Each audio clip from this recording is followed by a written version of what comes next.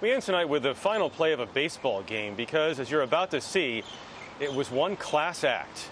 Here's Jim Axelrod. The most talked about strikeout in the country has nothing to do with winning and losing.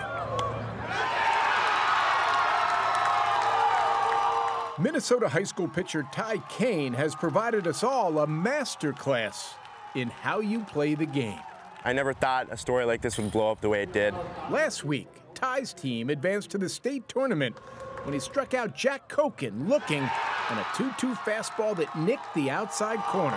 I really felt for him, and I just felt it was right to go over there and, and say something. That's right. Watch Ty. While his teammates from Mounds View High erupted in celebration, Ty waved off his own catcher to attend to more pressing business, hugging the kid he had just struck out. I didn't think. I just I just ran over there. It was instinct. After all, Ty and Jack had been pals since they were 13 and teammates on the same travel team. They stayed close even after heading off to different high schools. And I said, You had a great season, you were a great player, and don't let this outcome affect our friendship. And I told him I loved him and he's my brother, and our friendship will always last longer than this, this silly game. The hug has become a social media sensation, which just may say something about our thirst these days for examples of how to treat each other with class, grace, and empathy.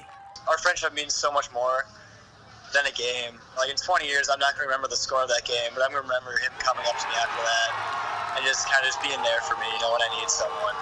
The Hall of Fame manager Leo Durocher once said nice guys finish last.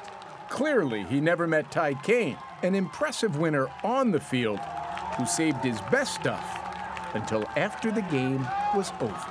Jim Axelrod on CBS News, New York. That is the CBS Evening News tonight. I'm Jeff Glor in Singapore. We are going to make our way back. I will see you on Thursday night. Good night.